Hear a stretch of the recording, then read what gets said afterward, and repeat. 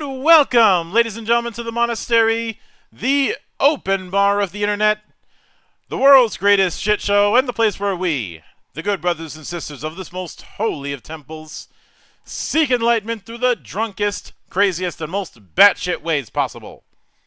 I am your one and only gaming monk, better known as Mildra, and with me I have a couple newcomers into the temple. They are part of the multi-headed monster currently developing Spiritfall. In the red corner, we've got Kyle Watts, and in the blue corner, we've got Ben. We've got Benjamin. No, he's not short. Webster. How you two doing today, man?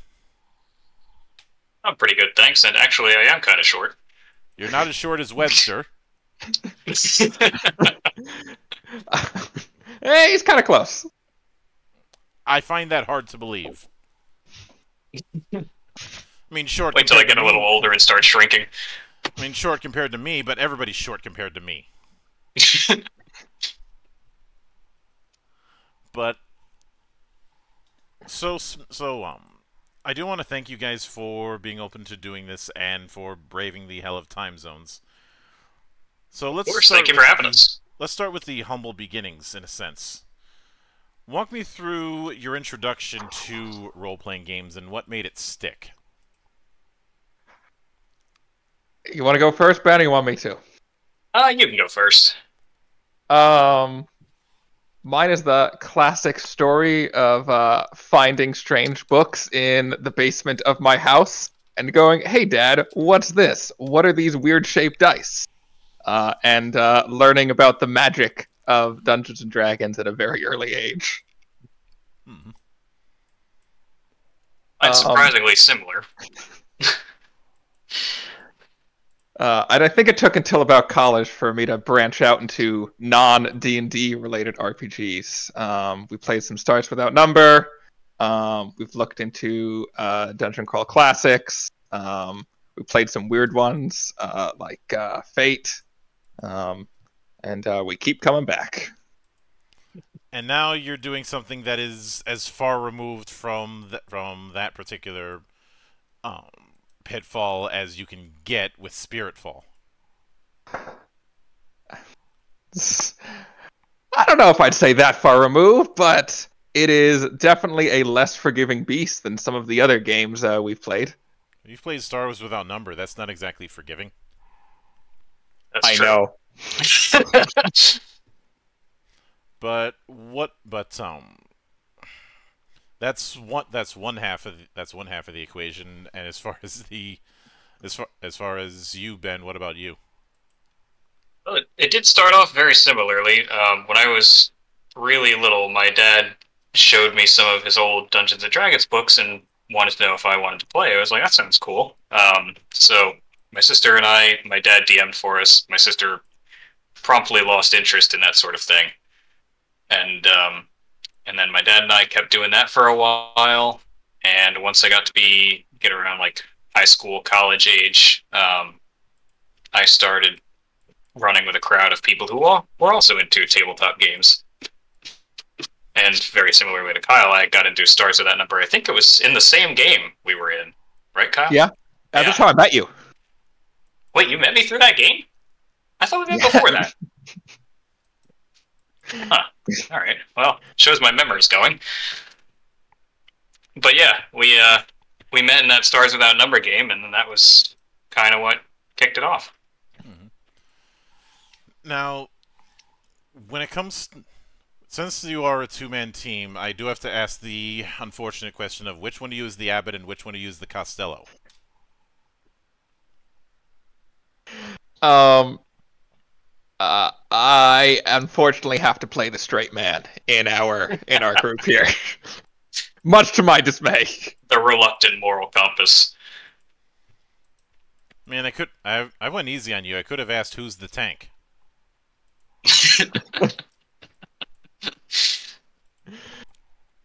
Uh, I don't know, but I'm the healer. No, what's no? Who's the tank? What's the mage? I don't know. Who's the priest? We're not talking about him. All right, I'll have to I'll have to unlock my memory. You bring in some deep cuts early in. But you guys have never heard who's on first? Oh, of course. I, I Oh my god, that's a deep I- memory and I- and I played um, during the time when Who's the Tank was making the rounds. hmm I just haven't thought about that in 15 years. Yeah, I've, I've I've used that I've used that gag quite a bit because um the classics never die, and especially especially with especially with newcomers who go to, who go into my LGS, um, just so I can watch them go absolutely insane. I think you'll find we'll already we are already there.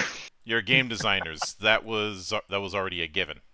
Yeah, Insanity and masochism are matters of course. That's why I never ask if a particular person designing a game is insane. Kind of a moot point. very fair. Now, was it a ki- when it came to the development of Spiritfall? Was this something that you guys had designed recently, or at least the idea recently, or was this something that you had in the back foot for a while? Spiritfall has been in development in various uh, stages for about 10 years or so now. Um, uh, I, uh, a friend of ours um, who uh, I knew from high school had uh, started working on the project. I helped him uh, for a while. Um, we had like an alpha and a beta that kind of worked, but it didn't really do what we wanted to do. It was very based on Call of Cthulhu. Um, you know, it had a D100 system and very uh, like uh, the demons were very old gods, insanity um, sort of flavor. Um, and it didn't quite play how we wanted it to. Uh, so we scrapped it all and we started again. Um, we worked on that for a while. We went to a couple of conventions. Um, the feedback we got was, um, you know, players really like to roll dice. Um, and we're ask you're asking them to roll dice all the time, but you're telling them that failure failure is happening almost all the time. So that feels bad. And they were 100% right. Uh, so we redesigned it a second time, and now we're really happy with it. Um, and during that time, we've looked at you know dozens and dozens of different you know uh, tabletop games, and uh, we're able to steal the good parts that we liked uh, and learn more. Because the first thing you make is not good. You should never show that to the public. I've shown, Um, I've, I, s- I still have the first video I've done up on this channel because I'm not I'm not hiding the fact that my that my audio was shit back then. That's true masochistic tendencies. is- bearing your vulnerabilities like that. Why not? I got nothing to hide. Then you are a braver man than I. I Besides, have like, very, I have very many things to hide. did I not just say a few seconds ago that game design that masochism and game design go hand in hand? Just saying. But since Spiritfall is doing a post-apocalypse that is very, very much um, rooted in New York, Yes. um, Yep. I guess I'm, I, I'm go I'm going to go out on a limb, and I and I say this because I don't trust the location entry on any Kickstarter, just as a part of point of principle. You got you guys are born and bred New, New York Cityers, or just New or just New York State in general. Close. Um, Jersey. We're from out. I, I'm live not far from the city. Jersey, Yeah. my sympathies. Thank you.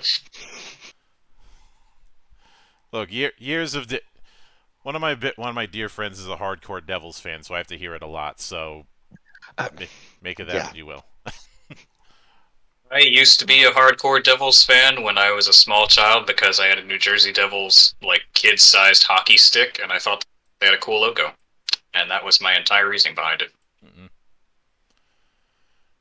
But with the but with that in mind, the big reason I asked is be, is because in the demo booklet for Spiritfall, you have a mini you have a a bit of a mini map of of a of particular areas and Yep. an emphasis on the um, on, on the under the um, underground networks, which Yes. Uh, well, it's actually it's actually just any connection between the neighborhoods, not just the subway maps. Yeah, I, I guess the I guess the closest analog I could make is the emphasis on the Metro network in well the Metro books. Yes. Okay. Yeah. Um, Yeah. Was that a coincidence on my part, or or were the Metro books an influence? It was absolutely uh, an influence and a, and a style guide for sure. I I could I could certainly see it, and obviously, Mean, and yeah, I, ju- I double I do double check the map itself since a lot of times when I get when I get um, quick starts, it's usually a single PDF, not um se- not separated the way this was almost like a box set. That was the that was the goal of the field, or the that was the field that was our goal. Uh, which is again, which is going to be good because obviously not everybody who's going to be picking this up is going to be as familiar with the boroughs of New York City as you as you guys are. So having true. that and having that emphasis on this post-apocalyptic New York as a living place is vital. Now, Our goal is to make it feel like a dungeon crawl through the boroughs of New York. hmm And if I if I recall, one of the other there's one of the other things is you are dealing instead of like zombies or something. You guys went with demons, Mhm. although with the idea of um them be them being mani- manifestations of of people's sins. Why why did you guys go with demons? Was it as a means to do something unique because everybody's done zombies over the last 20 years? It kind of offered a few interesting, like mechanical Mhm. choices that we wanted to work with as far as design goes as well, because we also have the Herald mechanics for their coming as well. So it's not just they pop in and wreck stuff, which they do, but also it allows opportunities for like building tension with the party and allowing players to see the threat coming and prepare around it and work together a little bit to strategize in different ways than usual. Yeah. It also um the game is is very clearly uh Judeo-Christian uh in- influenced, right? And um Major monotheistic ones, yeah. yeah, that was um you know one of our like design influences. We thought it would be really interesting to have these sort of uh biblical uh demons showing up at the end times and what that could mean for for players who are religious or not um dealing with whatever that means for them as a role play opportunity Yeah. Now there's there's a few things that really ended up really ended up drawing my attention. Um, one of the one of the bit one of the big things is the fact that you guys are using a D a D6 system, but it's it's very much a case where you're where um unless I'm unless I misunderstand it, the goal is roll roll a number of d6 equal to your stat. Um, if any of them show sixes, you fail. Otherwise, you pass. Uh, that's pretty close. Um, for um, uh, we have, I think we're calling it a, a you know, it's a stress-based system. Mhm. So if you roll more than half, the next time you roll, you're going to roll an additional die. Um, so this means at the start of your mission, um, you're, you know, you're rolling your die. You have a really high chance of success. You know, you only have one die to get your six on. But as it goes on, as you make more and more tests, you're going to be uh, more exhausted, you're going to have more stress, and you have a higher chance of failure as you're trying to return from your mission. And that was sort of the feel we're going for. Yeah. Is that the longer your mission goes, the harder it's going to be for you to, to succeed. And I, I do have to correct myself because I had it in my because of some of the dice images on the Kickstarter page. I had it in my head that this is a pool based affair when really, if I'm reading like some of the example sheets right, it's more th- it's more that you're rolling one, one maybe two maybe two dice. De- yeah, depending on how high your stress gets. We cap it at five, um, out of kindness, um, and math, mostly math. Um, uh, and also as your uh, uh, as your character levels up, uh, they can improve these skills to become a higher die size. Hmm. So if you get better, you can become a D8, D10, or even a D12, Yeah. so that you have better chances of success even when you're in those high stress situations. Because this is your character's bread and butter. This is what they're good at. They're good under pressure. They'll be all right. Yeah, since if you don't mind me going a bit ma- going a bit math nerd, a obviously a D4 you got a 25% chance of failing. Mhm. Um, a D6, I believe that would be 20%. Close. I think it's like 17, right? 17 yeah, Yep. 16 points 16.6 repeating or just yeah. Right. 16.67 for the purpose of our sanity. Um, a D8 that'd be 12 and a half. A D10, well that'd be just 10. Yeah. And a D12, the lonely D12. um 8 and a third. yep Yep. So, which does does mean that there's a higher risk for failure compared to some other games.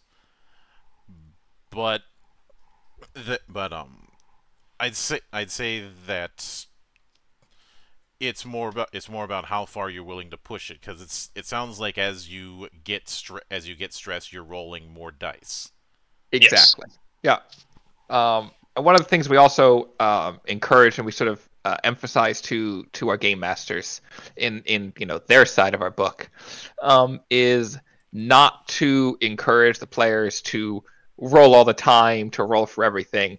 We only want to roll if the uh, the chance of failure uh, of that event is going to be detrimental to a player, if whether in terms of how much time it's going to take, uh, you know, a risk of injury or whatever it is. Mhm.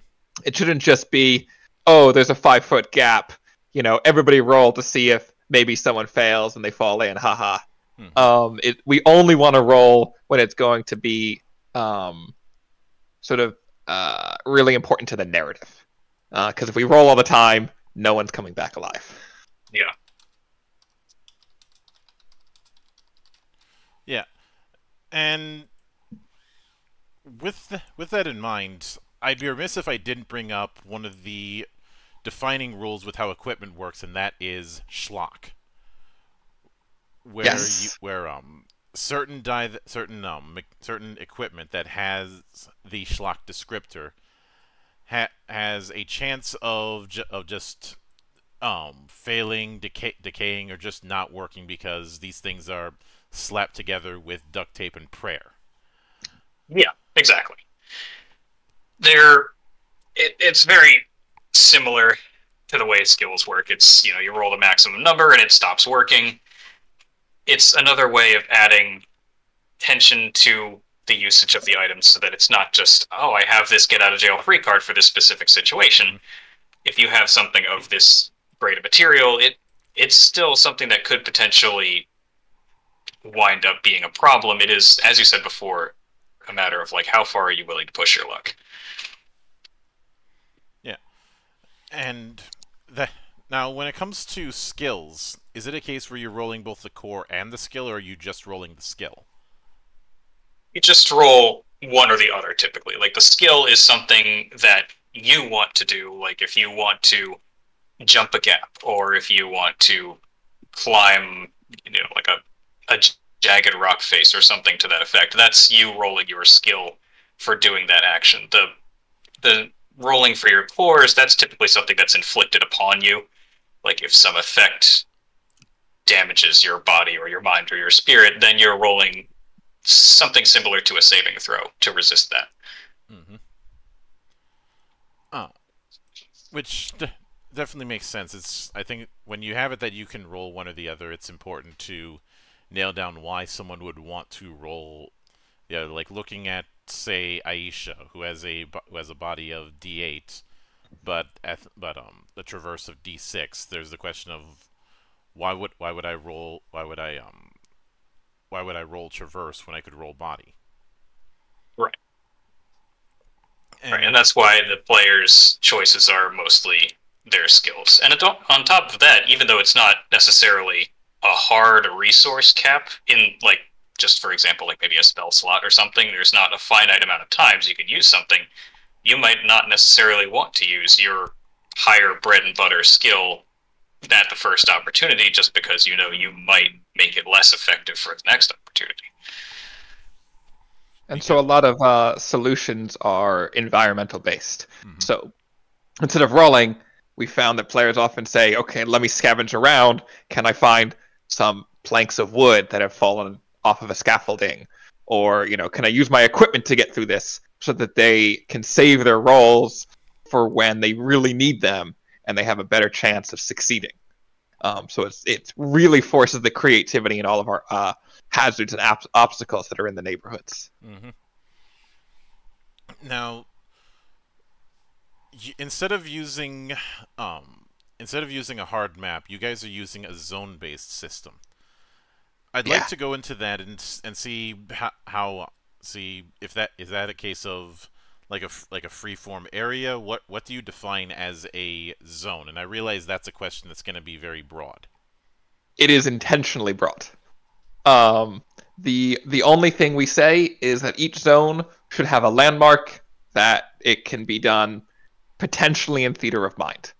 So uh, maybe a zone could be the area around a, a fountain, or it could be a gymnasium. Mhm. Right? Whatever whatever scale it needs to be, it could be a closet, um, depending on sort of the scope of whatever environment the players need to be in um, we we leave it up to whatever situation they find themselves in, because we don't want to say, you know, that if we if we put hard and fast rules on a zone, we're sort of getting into a nitty gritty that's not quite important. Um, and we'd rather focus on letting the story unfold. Yeah. Now, when it comes to specializations, um, yeah. like what where's the where's the dividing line where's the advantage between a skill versus a specialization is is it that specializations are more focused but you are able to use them more safely in regard to stress or is there something different that separates them it is not every player at the table is going to have access to every specialization. Um, so specializations depend on whatever background you have. Um, so some backgrounds include construction worker, Mhm. um, right? And so they're going to have different uh, backgrounds than uh, the uh, architect or uh, the sewage uh, worker. Um, and so all the different specializations, uh, each background gets one, and so that is sort of their niche that they get to fill. Uh, and some of these specializations have weird supernatural uh, aspects to them um, that aren't really obvious. So um, uh, it turns out that with painting, uh, you're able to write demonic runes and have supernatural abilities. You could also play these runes on a on an instrument um, if you have uh, a music um, specialty, or um, you can uh, speak them if you have the oration uh, specialty. Mhm.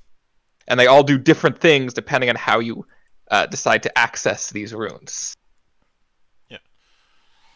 Now go now um there's oh, I want to shift into combat a little bit because there's one aspect within it that I did find I did find very interesting. Oh.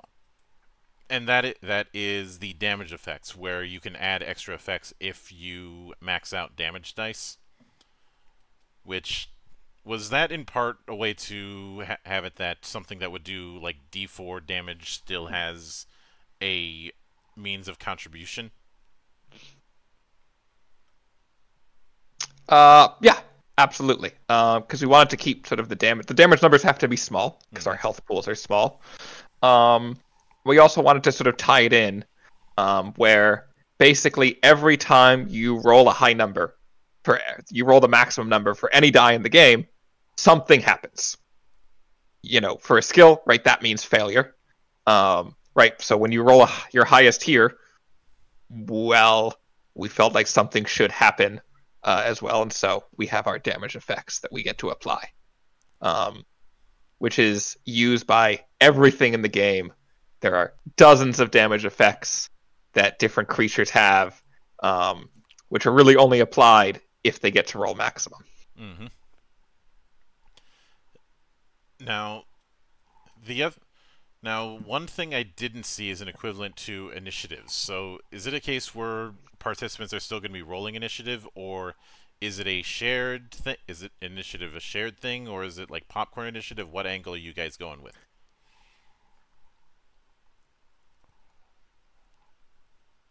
I was going to let Ben take that one, but I'll jump in again. Sorry about that. I had to feel the question from my sister real quick. Oh, no worries. Um, it is, uh, yeah, it's, it is popcorn initiative with one sort of asterisk on that, uh, where you just have to pass the turn to someone on the other side. Um, so whichever side is narratively has the advantage at the start, whichever one gets the jump on the other, they go first, and they pass to the other side. And uh, if there's no one left to pass to, you can pick whoever on your side goes next. Mm-hmm. Now, that bring that brings me to the uh, the obvious next part, and that is: is it a case where everybody's doing one action period, or do you have something of a action economy? Um, it is uh one action and one movement that you can do. Um, so you can move a zone and then do an action. Um, you know whether it is you know uh, attack, uh, you can help somebody. Um, right, you can hide. Um, use equipment, whatever it is. Um, but one movement, one action. All right, I can, um, I can certainly get that. Uh, or use one of your many, as you level up, traits that you get. Um, some of which happen as a part of your action, um, some of which replace the action entirely. Yeah. Now, one of the things that really drew my attention was on the Kickstarter and in, and in some of the materials. There's talk about an emphasis on team synergy and te- and teams wor- and the players acting as a combined unit. Mm-hmm. Yes. It, instead of a bunch of individuals. So what what prompted that, and how and how do you guys plan on um, realizing that particular vision? It offers a sort of uh, what's word, like a more collaborative effort between players at the table. So rather than just kind of waiting around for your turn to whack something, it it really emphasizes a means of players working together to accomplish a goal. And to that end, there are a lot of effects that take place in the game that obviously buff that and take advantage of players helping one another. And when they do so exceptionally well, they can increase their team synergy, you know, literally on their team sheet, which gives them access to other abilities, traits, and sometimes it can even affect turn order. So it's not necessarily that you're passing exclusively to an enemy, but you can sometimes also pass to an ally as well. And it helps. It just helps the the players feel like they're more impactful as a group rather than just trying to outshine one another by doing the most damage or etc. And uh, mechanically, um, as you're going out on your missions, we have the uh, synergy tracker, right? Which, um, as the group um, uh, is in situations where they're working really well together, they dominate against the enemy, um, something like that. Um, and we have a whole list of what causes that on on what we call the team sheet, which was one of the many packets in our demo box. Mm-hmm. Um, right. So as that goes up, you get access to some of those abilities uh, that Ben talked about. Um, but that's our mechanical way of saying you guys have worked together as a team. This is how we're going to encourage it because um, it feels really bad to play a role playing game and you have that one guy who ruins the plan that you guys just spent 90 minutes hashing out. Um, and so now he gets to have fun, but unfortunately, the rest of you get to sit back. Um, when that happens here, it's it's incentivized that you all are really working together. Mm-hmm. And I'm guessing that's the reason you have both bond, tension, and synergy. Which I'm guess I'm guessing tension and synergy are are um, something that can in, that can increase or decrease independently. This isn't um, two Correct. ends of a scale. Correct. Um, tension and synergy are our mission-based trackers, hmm uh, whereas bond is sort of our long-term um, thing. It's really it's really a measure of how much trauma has your group taken, um, and if it's too much, then you guys retire. Yeah. Now, are there are there any benefits that can be gained from individual bond points, or is it or is it just how far just how far away from um, minus five where the campaign ends is it is? uh, different uh, bond traits um, are unlocked only when you reach a certain bond. Um, and so the higher bond you have, you get the highest level bond traits. You can do the coolest things. Um, and let me let me actually give you a real example and pull it up for you. Um, so something that requires one bond uh, would be you can you know draw the attention of some enemy and force them to focus on you for a round.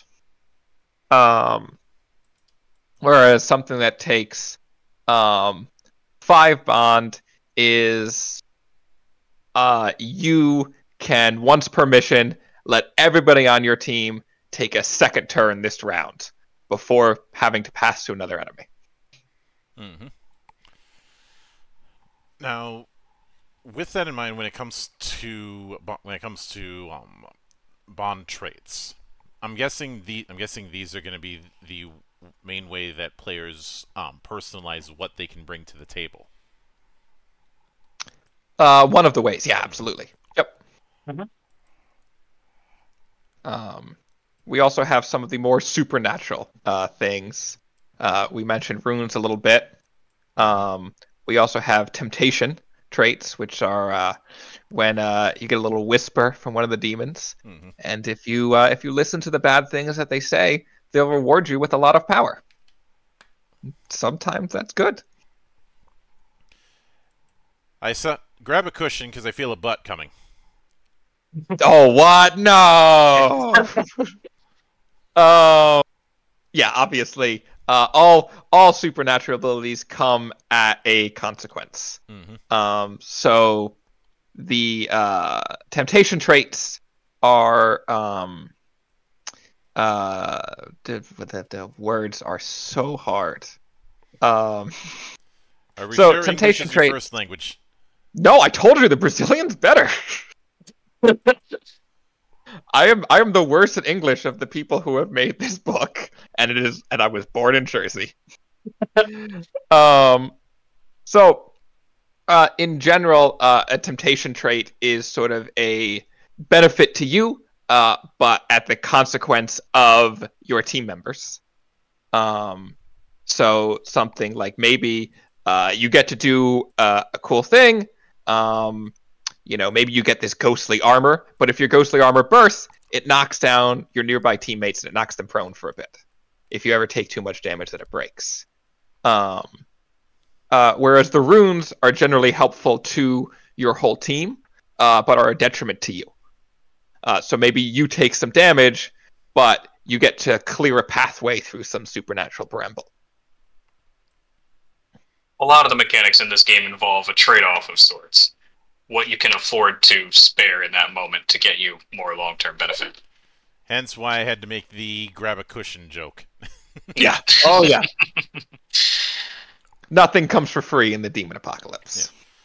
Now, given how much of a big deal faith is, and how and how um, demons can appear through um, the presence of sin, I'm ge- I'm guessing that um, faith is faith is more than just say your say your mental HP, it can have its own um, effects.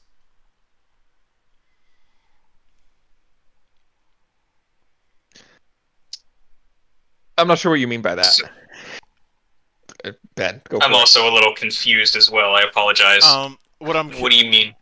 I'm cur- I'm curious because I know that I see that there's some effects where that can cost um faith, Mhm. and I'm cu- I'm curious if um if on the other end of the spectrum there are certain traits or the like that do rely on on the use of, um not the use in terms of spending but the presence of certain thresholds Oh. of faith at the very least, i.e. Yes. the Yeah. different ways that faith can be used in game.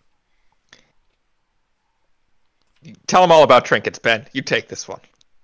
Oh my god, trinkets. Um, let me pull up some trinkets actually because it's Um, been a minute.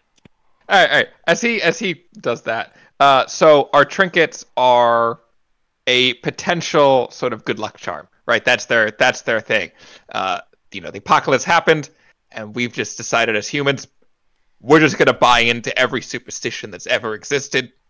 Some of them are gonna work, and it turns out some of them really do. But it some of them only work if your faith is high enough.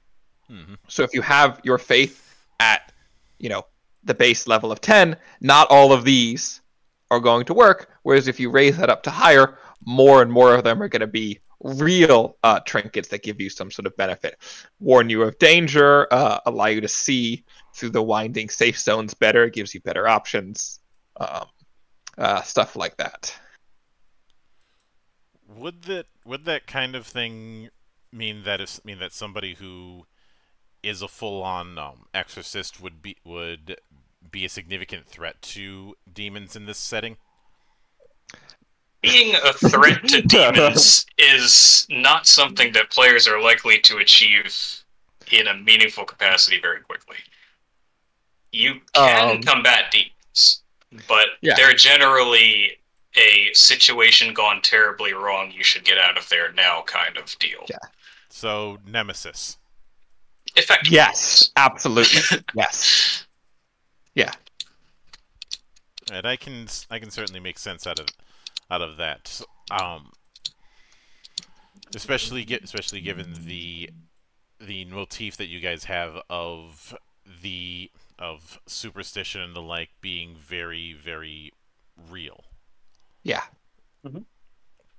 Now, with that with that in mind, on the on the G, on on the GM side of things, I'm gue- I'm guessing you guys have a, a fair a fair few um, hazards as well, as well as threats that you're put, that you're putting in. Are most of them built around just having a die for mind, body, and spirit, or do some of them have something fur- further than that? Uh, in terms of the the threats or the obstacles, like um, Yeah, essen- essentially the st- the stat block of something. For Oh, okay. word. okay, uh, so it depends on what the something we're talking about is. Mhm. Um, we have we have stat blocks for environmental hazards, um, which are something like let's pick our favorite one, Ben. Uh, waterfall. Waterfalls, yeah. Waterfalls. Waterfalls. Um, so in an environmental hazard, uh, each of the uh, features of that environmental hazard are going to have a mind, body, and spirit, and that's how they're going to try to cause harm or slow down or entrap the party. Um, right. So the waterfalls have something called raging river, raging rivers, uh, and so the flooded streets. There are rapids and they quickly change direction and they try to split the team apart, Mhm. uh, which raises the tension of the situation, both narratively and mechanically. Um, there are powerful whirlpools, which can suck a team member in and require help uh, from another person to get them out. Right when they get stuck, tension raises. Uh, and then our absolute favorite feature of the game is the four-dimensional waterfalls. Why four-dimensional? because we wanted them to uh, be able to phase in and out of reality, and we really are a bunch of math nerds. And Well, we love I'm- we love. All right, maybe Ben's not. I am the complete opposite of a math nerd. um, and uh, we got really into um, uh, you know uh, projection, fourth dimension, projection to third dimension, and we decided we were going to roll with it. And all demons are four dimensional creatures, and so their supernatural hazards are all four dimensional hazards. And so these waterfalls come in and out of reality and can sweep a team member away. Um, but something like an actual creature, um, so um, something like uh, a hellhound uh, or a nightmare would have, uh, in addition to their mind, body, and spirit, they have some skills. They'll have life. They might have armor, and they'll have different attacks, like you would see in a normal creature stat block. Yes, but by and large, the things that are not creatures would not have access to skills. They are just things that exist. Most generally speaking. hmm Now, move. Now moving in, moving in from from that, because I do I do see a few sta- I do few, a few more standard obstacles. Um, one of Mhm. the, one of them, of course, being a bear, Yep. because because well, what's going to be well, hope, hopefully it's not a um, hopefully it's a, only a black bear and not a grizzly bear. Uh, I mean, where, where else would you? Uh, what else would you find in a bodega but a bear? I, Mhm. I don't really know. Yeah, but I'm get I'm because of the fact that a lot of the encounters are built more on environment. I'm guessing that in the GM side of the material, you're going to have some um, advice and some pointers on how GMs could build environments and the threats within them. Yeah. Uh, we give uh, something around um, a hundred or so pre-built ones. Some of them being uh, environmental hazards, um, like uh, brambles or haunted construction equipment.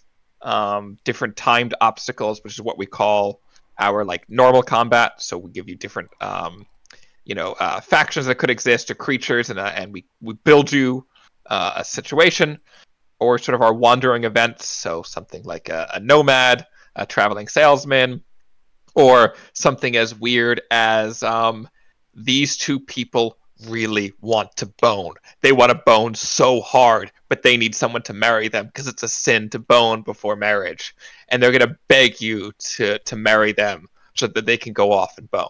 Mhm. Um, and at the end of our our uh, GM's book, uh, we give you our sort of step by step process of how we came up with them, um, what makes these things um, interesting, what makes it fit in with uh, sort of the different rules that we have, how we can apply the things. Um, and so we give you the guides of how we made our things so that you can make the stuff yourself.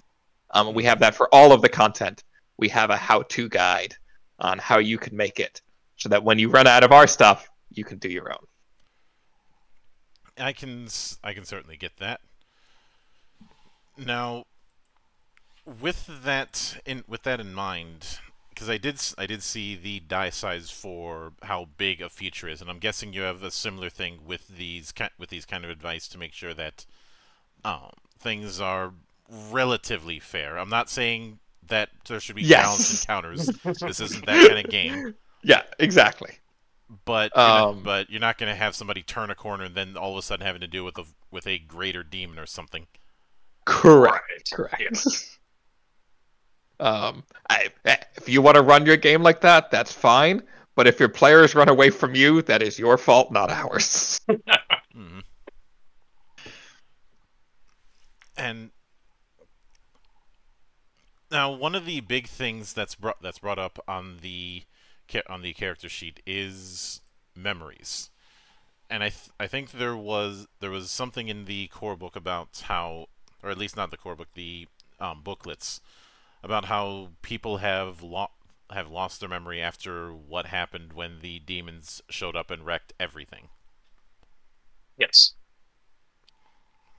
So I'm guessing that play that um the use of memories plays a big deal in um d- in both downtime and to a certain extent during active play when they're out outside the safe zones?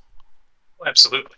It provides a lot of narrative opportunity for the players so that they can find something to investigate on their missions, something to potentially bond over. It is a way for them to mark down things that they care about as characters as well, and that provides a lot of like narrative roleplay opportunities. What do they want to get out of these missions in addition to just keeping the safe zone and their people alive? What truly keeps them going personally? Um, and uh, we have a few things which mechanically play on that. Um, so you only get a few memories of the before times um, to start with, and it's it's in your background. Um, so something like you know, when if you're a taxi driver, you remember one of your um, patrons, right? One of the people you drove, and some story they told. Uh, maybe you remember uh, a moment you had with your significant other. Mhm. Um, and as the game goes on, there are different things you can do you can get another memory. Maybe you could learn more about this thing. Uh, but there are also creatures and hazards out there that can take these memories for, from you. Some of them forcibly. Sometimes you can give up uh, a memory, something you hold dear, in exchange for safety or power. Um, and so that is a much harder uh, uh, question for a player than, oh, do I want to? I'll, I'll gladly hurt myself. I'll take damage to go get power anytime. But if you ask a player, would you forget your mother to get out of this situation alive? That is a much more difficult question. Mm-hmm. Yeah, and I I could I could I could certainly see that. Now, with that in mind, what are you guys shooting for as far as a total page count for the book? Oh boy. Uh probably in the ballpark of about 275. hmm which includes like I'd say probably about half of that is just content. Yeah. Um, creatures and obstacles that we give you. Mhm. Um, and uh, traits. Yeah. Most most of that is is pre-made content. And I do f- I do find it interesting that you guys on the on the Kickstarter are also including a player's book that's not if I'm reading this right, it's not far removed from the player's guide that Cipher does with some of their books, where it's just the player-facing material in the core book. Uh, yeah, that's exactly what it is. It's it's um, it's so, so the GM can keep some of their secrets for the group they want to play with. hmm Yeah. Um, so they can give out, um, you know, all the player rules, and they can keep all of the demons and the fun threats to themselves. I've I've given out some of my secrets. It's just that all of them are mirror written or similarly ciphered. Unfortunately, I play with some really clever players. Um, one's getting his PhD in physics. If you hand him a cipher, he's going to spend the next week deciphering it instead of doing his, his work, and it becomes a whole thing. I definitely don't know from experience. Oh. Well, every every cipher has a every cipher has a key, and I, I only bring up the mirror writing thing because I did that for a for a um pa- for a paper in college because my professor was dumb enough to have April Fool's Day as the due date. That's perfect. So then the- the thing was twenty. The thing was like twenty pages long in in mirror written, double sided. Oh man. I mean, I still technically did the assignment. I just did. It's just I had I decided to have a bit of extra fun. Yeah. It's turned in on time. It's done. It's just hard to read. Um, I got called out in front of everybody about, about it, and without missing a beat, I told him, "Why'd you set April first for the due date?" Uh, I did. Get- I got a passing grade out of it. I think. I think because he didn't want to admit that I had outwitted him. but there was the whole thing of, "This was brilliant. Never do this again." yeah. So I can under I can understand that kind of um fixation. I'm uh, I'm on the other side of that in my day job, so uh, I understand his uh, his reluctance very well. You can't admit it because that encourages it. right. and although some sometimes I'll sometimes I'll drag out a puzzle just to just to make a really bad pun. oh, like I had I had written I had written one out that was a that was a cipher, but if you translate it, it, it just says necromance if you want to. We can bring your friends to life, but your friends aren't dead, and if they're not dead, then they're no friends of mine. Then everybody just looks at me and says nothing for about for about ten seconds, as my players figured it out. That's definitely my style as well. Because if I'm not fucking with my players, am I really doing my job? Right. They gotta have something to keep them on their toes. Or, um, I would I would build I would ha- I would have traps in a dungeon, but the trap actually does nothing. You know, it's or traps that are meant to that you disarm it, and the disarming was the trigger for another trap. In the case of the do nothing, I did. I told them that it does nothing, but in reality, it was because I forgot. I forgot that I had laid a trap there. It's always fun when people look for traps and then no matter whether or not they succeed or fail on the roll, you say there don't appear to be any. This is so intentionally vague that they're gonna still worry about it no matter what. Um. Yeah, and of of course, that's the reason why we why we have the infamous gazebo incident. oh man. I attacked the gazebo. Um, it's a gazebo. Right, that's why I'm attacking it. yeah, I can say that I can say that if um somebody tried to pull the gazebo thing, I would immediately pull out the the the source that I have on my shelf and um fastball it at them. It's like, do you know the definition of dodge? You're gonna learn now. 'Cause at that time, at that time, everybody in everybody in that table had done some degree of stunt work, so we all knew we all knew we all knew the the fact that we were gonna have to take hits. I gotcha. Plus, they plus they were the same group that I would often play GoldenEye with back in the day, and we had a rule of if you picked Oddjob, we're all allowed to kick you in the nuts.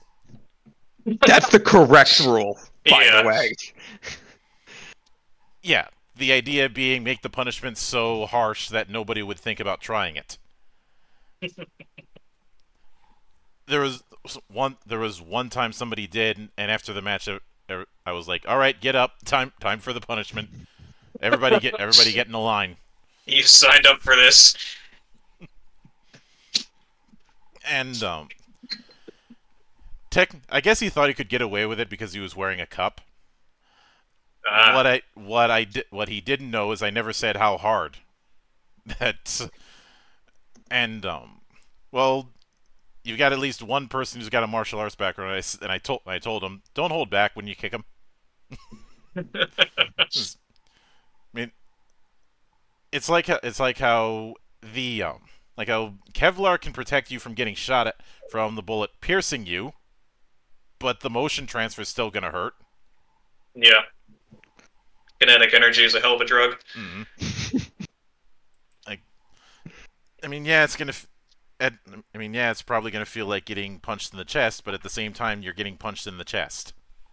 Yeah. But By something moving the speed of a bullet. mhm.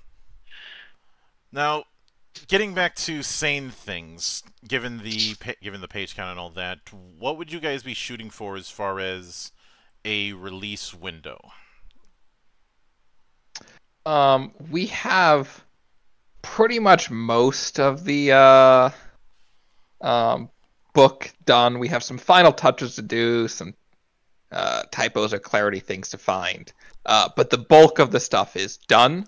Um, so in terms of PDF content, we are soon. Uh, in terms of physical copy, uh, we're aiming for about a year from now. Uh, from now, hmm maybe uh, you know 10 to 12 months um, for us to figure out that whole printing process um, make sure that it actually looks good in physical paper, um, and uh, be able to send them out uh, to the people who back our Kickstarter. A way to have holiday hell literally. Yeah. exactly. Yeah. Um, and whether the holiday is Halloween or Christmas, we feel like it fits. Yeah. Mm. But with that said, I do want to sincerely thank you guys for taking the time out of your schedule to come all the way to my temple and enjoy the madness that happens here. and Of course. Thank you again for having us. Yeah, thanks for having us. Mm-hmm. anytime you see fit to return, the door is always open. As I often say around here, drinking is not mandatory, but it is encouraged. Amen to that. And of course, a sincere thanks goes out to everyone who took the time out of their schedule to come onto the show and enjoy the madness. And there will be plenty more where that came from, as there always is here on the open bar of the internet. But until then, on behalf of the good brothers present and not present, my name is Mildra. I am your gaming monk. Stay fucking frosty, everybody.